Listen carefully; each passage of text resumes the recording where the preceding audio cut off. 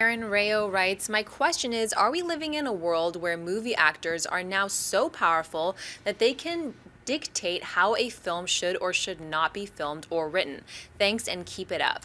Um, I think there was an era when that was the case. I think there was an era where if you wanted, and I think Will Smith still thinks we're living in that era. Yeah. there was an era where you know, so you want to get a certain actor involved, and that actor wanted control over this, and he wanted this, and he wanted his own director hired, and blah blah yeah. blah.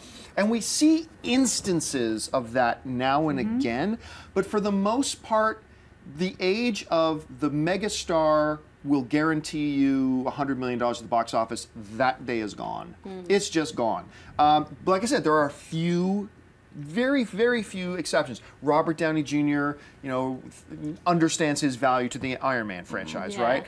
Uh, but so does you, his bank account. So does his bank. But but just look at the evidence. I mean, Fox right now said, okay, Will Smith, bye bye. If if you if, if you know these demands that Will Smith wanted for Independence Day too, yeah. they were more than willing to go. You know what? Mm. You are simply your name alone is not going to add $40 million to our box office mm. by itself. That day is gone. So I don't think we're seeing anymore. Do you guys see it any differently? Well, only when you see an actor turn into a producer. Exactly. Yes. Like your yeah, George yeah. Clooney, your Leonardo DiCaprio, your yeah. Mark Channing Tatum even, you know, he's, I mean, he's starting to pull his weight there too. He's producing a lot of the stuff that he's in, and I, th I think that's the sort of new age of the of the mm-hmm. actor. Brad taking... Pitt was just on the stage of the Oscars holding right. up as his award as a producer. Yeah. It's the medium has changed yeah. in general. So yeah, when the when these big megastars are smart and say I'm going to produce, I'm going to direct, I'm going to do it. Now I have more power to be able to do that because John's absolutely right. That that day back in like the 80s and the 90s when Tom Cruise, you just say Tom Cruise opening a bottle of, of Cheez Whiz. Oh, that's 100 million dollars. That, that's done. Yeah. Um, the director now, I believe, is the, is the star. Like you, Chris Nolan movie comes out, Interstellar, little teaser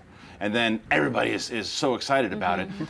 It's 30 seconds of a wheat field, right. but it's but it's Christopher Nolan, so yeah, everybody so, freaks so out. guys like that, and there are other people like Matthew Vaughn starting to get that, and Bryan Singer, people of that nature, they have more power than the, the megastar does yeah. because they're the creative dictators. And, and, quite frankly, that's kind of the way it should be because yeah. directors have far more influence over whether a movie is good or not than an actor does. Right, yeah. and they put the people, they, they have a big part, depending on the director, who are in those yes. roles to be in the movie, mm. to make them megastars. I think there's also social media that has to be considered. We're in such a mm-hmm. different age now where information about movies is, is being exchanged so differently. Look at this show, for example. There's, there's just so many ways we are getting information about film, people know more about film, I think, than they ever did back in the golden age of yeah, cinema. People we used to go to the theater, and yeah, yeah. everybody knows about the production process and directors and writers, and so I do think that it's it's saturating a little bit the influence. Hey everyone, if you like this video, click that thumbs up button and make sure to subscribe to our AMC Movie News YouTube channel.